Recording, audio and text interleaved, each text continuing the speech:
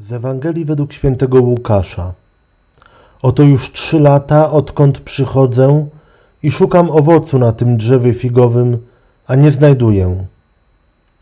Zapytałem kiedyś przyjaciela, który posiada winnicę, czy drzewa figowe to częsty widok w winnicach.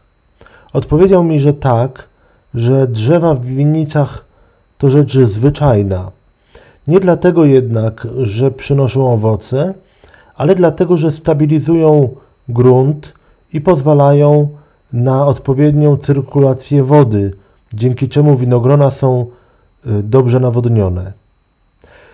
Kiedy więc Jezus mówi o drzewie figowym w winnicy, to chyba raczej mówi o owocach krzyża, o tym, że krzyż stoi na środku winnicy, jaką jest Kościół, winnicy, jaką jest ludzkość, po to, żeby ustabilizować grunt pod naszymi nogami i po to, byśmy byli nieustannie odżywiani tym świętym sokiem, wodą, która jest symbolem łaski Bożej.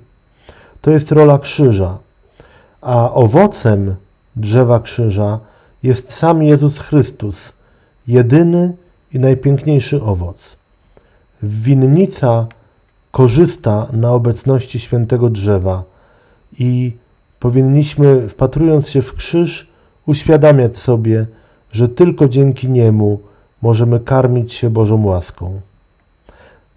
Dziękuję Wam, do zobaczenia jutro.